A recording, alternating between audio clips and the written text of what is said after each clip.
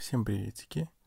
С приходом на мой телефон обновлением UI 10.3 я заметил, что появились некоторые функции, которые не были указаны в списке обновлений.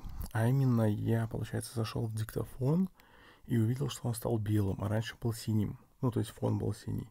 И в настройках, по-моему, раньше нельзя было выбрать формат и качество, если я не ошибаюсь, а теперь можно. Вот, потом я заметил, что будильник раньше писала, будильник сработает. Э, будильник, а, что-то такое. Будильник сработает через...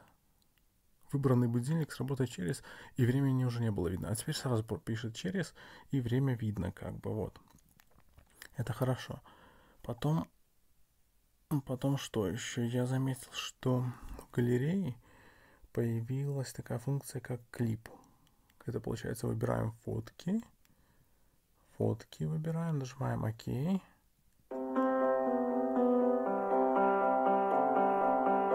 И оно сделает такое красивое видео. Вот.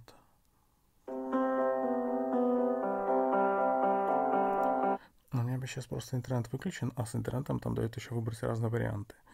Ну, в общем, круто. Он так фотки меняет по очереди, как слайды и под разную музыку, под разную тематику, с разными эффектами там. Ну, в общем, красиво. Раньше такого не было. Потом заметил, что в видеокамере появился в видеоклипе лишний счетчик времени. Ну, то есть раньше нажимаешь снять, и у тебя 10 секунд есть, а сейчас 15. Как-то, по-моему, глупо. Все жаловались на то, что мало 10 секунд, и они сделали 15. Это ж так повлияет на что-то эти эти лишние 5 секунд, что просто аж деться некуда. Так, и последнее, что я заметил, это то, что появилась функция а, экстренной помощи. То есть ставим галочку, назначаем а, 5, ну не важно сколько, 5, 10, хоть все контакты назначаем, и потом, когда нажимаем кнопку выключения 5 раз, то оно им отправит сообщение с вашими GPS-координатами. Вот. Ну и все, вроде пока больше ничего нового не заметил. А то, что они там писали, то, что вот будет при низком разряде световой индикатор загораться, так он не загорается. Вот.